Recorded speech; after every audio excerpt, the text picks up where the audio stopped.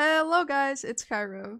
So in my last video, we learned the bare minimum of UV unwrapping, and in this video, we're going to be talking about why resolution and the size of certain islands on your map makes a huge difference in the quality of the items that you upload.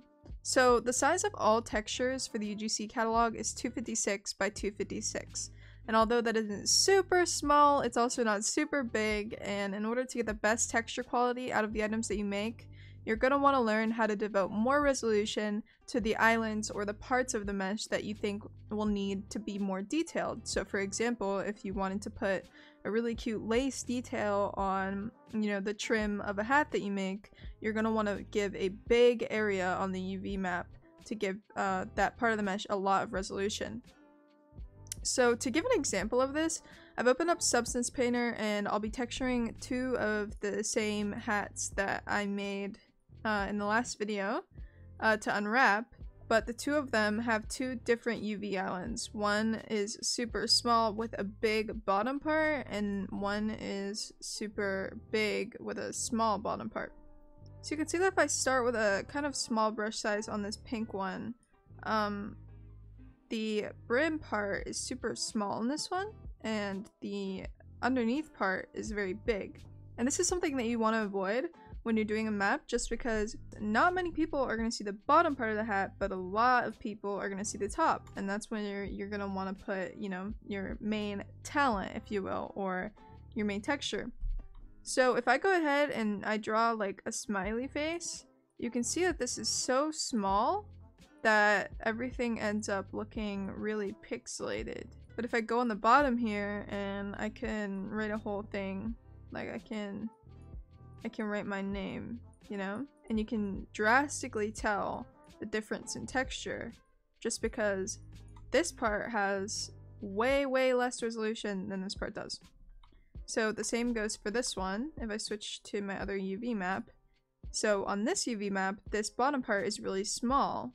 So it's obviously not as small, but you can see that it's pretty, pretty pixelated versus this one. And these are both the same size, but this brim on this map has way, way more space.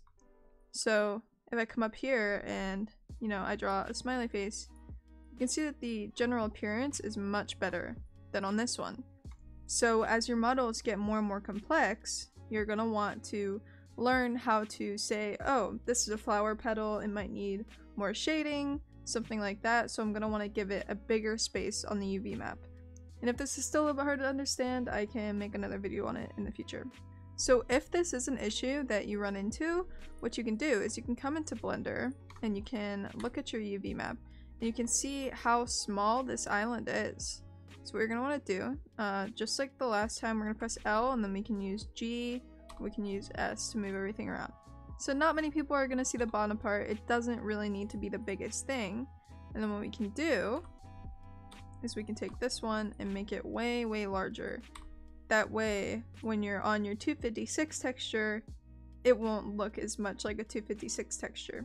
And if you want to amp this up even more and even give yourself a little bit more resolution, say on this inner part, we can do is you can go into edge select mode and you can select this seam right here and you can right click and you can add another seam. So when you unwrap, your mesh will be in three parts instead of two and you'll have way more freedom. So if you take a look up here, we can see that our top brim part has its own dedicated mesh. So we can give that the most resolution and give this brim and the bottom part, you know, either little to no resolution. So we can do something like this, just like that.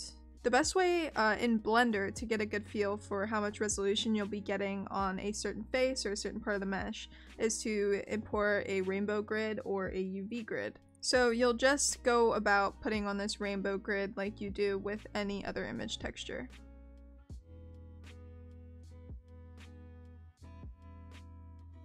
So here's the rainbow grid that I've just put on here. Um, you can bring it up here as well and you can get a good look at what you'll be getting. So if you want, if when you see you move this around, the less texture that it gets, the more that you shrink it. So I think that's the best way to explain uh, UV resolution Obviously, as your models kind of get more advanced, you'll have more to unwrap, and that's when you'll have to make some decisions on your own. But um, if you have any questions, leave them in the comments down below and I'll try to give you some help. So thanks for watching, give me a few video ideas to make because I'm already running out again. I'll see you guys next time.